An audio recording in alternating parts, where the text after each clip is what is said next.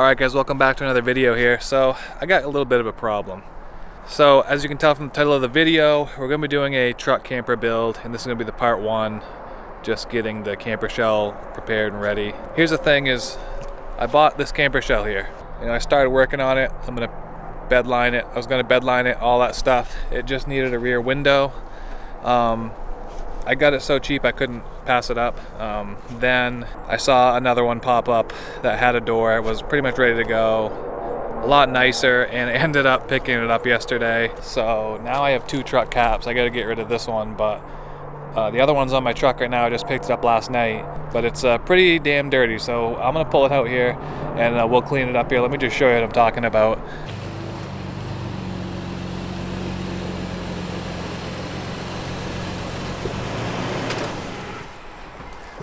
See what I mean? Look at all the junk on here. This side was a, next to their house, so all the pine needles and stuff kind of fell in there. But it's a pretty nice cap.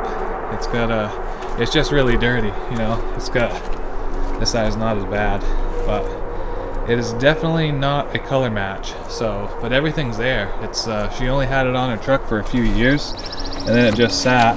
So, it's carpet lined. Yeah, let's just get this thing cleaned up and uh, get a better look at it, talk about what we're gonna do.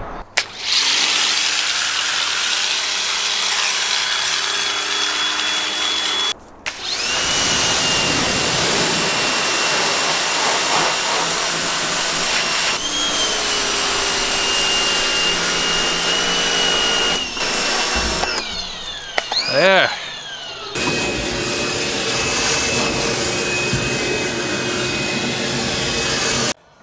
All right, so just got it all vacuumed. It looks pretty good. I think I might actually wash it once I get it off the truck to paint it a couple days before and just kind of rinse this carpet in here. It's been sitting outside for a while. Check it out. Nice and shiny. Nice and clean.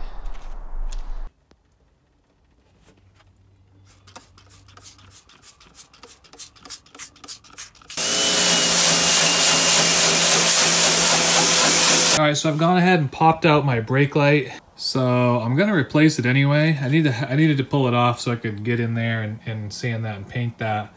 But uh, I popped out, I'm gonna replace it. I'm not even sure if it works. I gotta pull off these. I'd rather not paint over those if I don't have to. I don't know if I can reuse them or not. I'll try to. And then I also, I'm pulling off these accent pieces because they're just held on with like sticky tape like that. And it covers up a lot of a lot of that corner there that I need to paint. So we're pulling them off and we'll put them back on with 3M tape later on. Right now I got to sand all this. Got to kind of scuff the paint so we can prep it for the Raptor liner that we're going to do. And if you guys haven't seen this stuff before, you can buy it. I'll link it down in the description below. It right from Amazon. It's Raptor liner. The whole kit comes with a spray gun like this. Hook right up to your air compressor. And uh, it's pretty easy. I bought this regulator right at Harbor Freight for pretty cheap. I'll link that down in the description below too, just so you can get the right air pressure. And uh, yeah, you just mix two parts and spray it. So first thing we gotta do, it says we gotta scuff this up.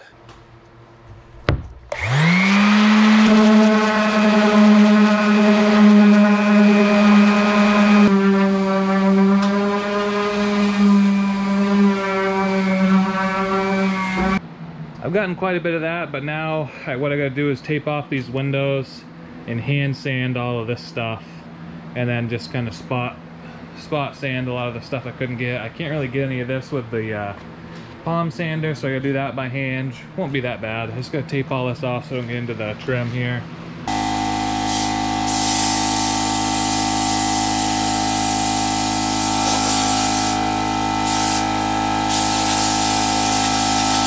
Took a little while to get all that. I was pretty particular and really getting everything nice and sanded down. I probably didn't need to do that thorough of a job, but I did.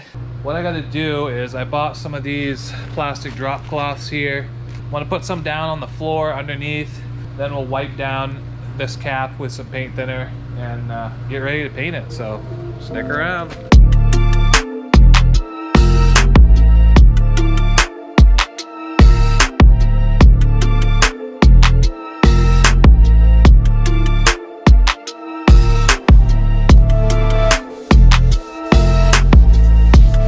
Right, now we're just gotta tape off these windows, so I'm gonna do that and get back to you. It's all taped up as you can see. We did all the windows and everything. And I just sprayed it off one last time with some air. And now we're gonna mix up the paint. So I got the kit that I'll link down in the description below. It comes with four of these. Fill up to this line with the hardener, which is in here mix it into this bottle, shake it, and then you just spray it. And it says to spray it anywhere from 40 to 60 psi, but a lot of guys said to spray it at like 80. It gets a little bit finer particles. And then we have to let it uh, flash off for an hour, come back, hit it with a second coat, and then we should be done. So, a little nervous, but uh, let's go ahead and do this. I'm gonna read the meniscus here. No turning back now.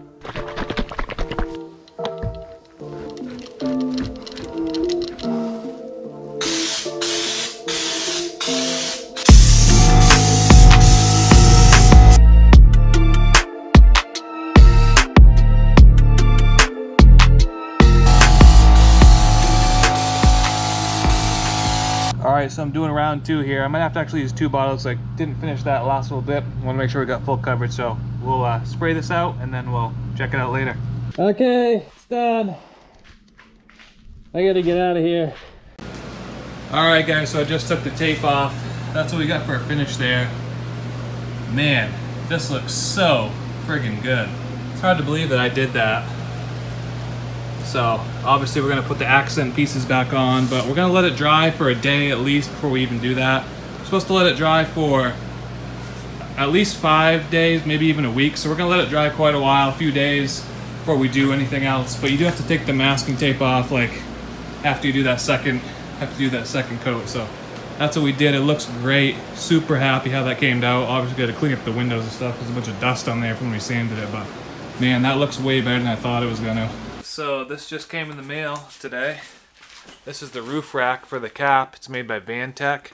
Uh, you can get it on Amazon. I'm to link it down in the description below if anyone is interested. Uh, there's no track system on this cap. I'm going to have to just drill holes where I want it and bolt it through the underside. Just put some silicone around there. Hopefully it doesn't leak and uh, should be good to go. Also, I should add that the, one of the reasons I really wanted this rack over some of the others, not only was the height, you know, an issue, but this whole thing is made of aluminum, so the brackets, the um, top pieces are aluminum. It's not going to rust out on me, and it's, it's really lightweight. Uh, I might have to bend the brackets a little bit to get them to line up straight because this roof is a little bit curved. Shouldn't be a problem in the vise.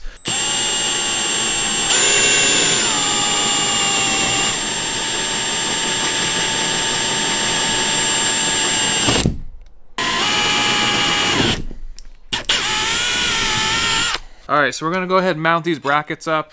I know, I don't know if this is really boring for you guys or not, but I'm gonna do it real quick. You just clean the bottom off and put these foam strips on there that they provide you.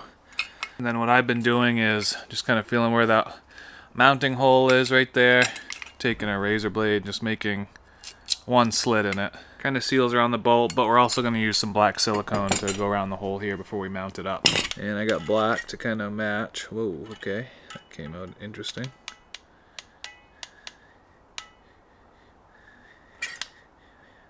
That's probably way too much.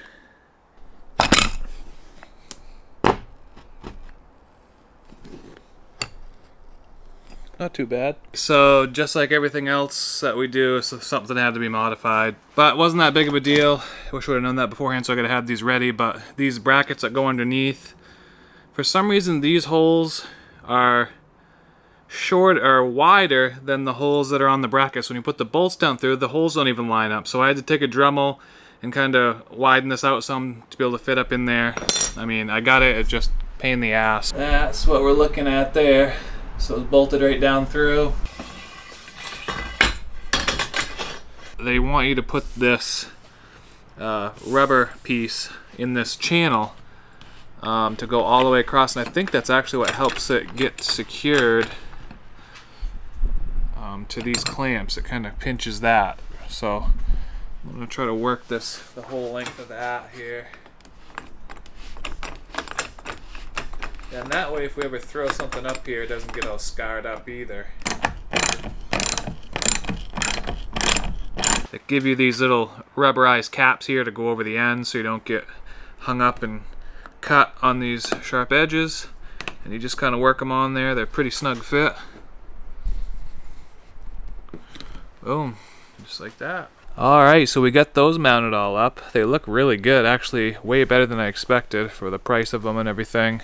They, sit about five inches off the top of the cap here, so that should be good. So there's only a couple more things left to do. I got the brake light here that I need to replace, which I've already bought. This is the light we got. It's smoke black LEDs. It's gonna look pretty sweet with the black cap.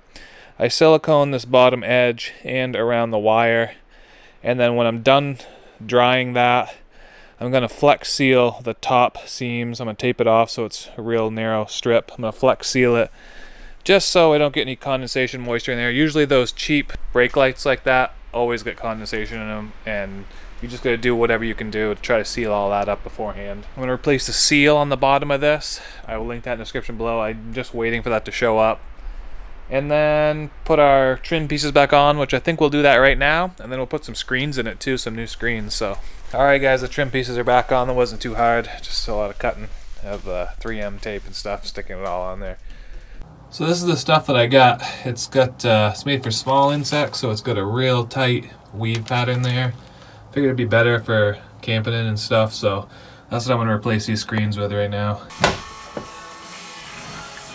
I don't need to show you guys how to do this. I'm just to start working on it. Holy smokes, that was not fun. You can see I got it. It's nice and tight now, so going to trim up these pieces. and Took me a while. Had to go dig out the old spline tool because I couldn't do it with a screwdriver, but uh, we got her done. And really, this is the last thing besides putting that tail light in, is putting in the seal all along the bottom. The seal that's on it is wasn't very good anyways, and it's all compacted and stuff, so see the shape of that stuff how it looks. It's a nice thick seal that should compress down, make a nice watertight seal on the bottom of that cap.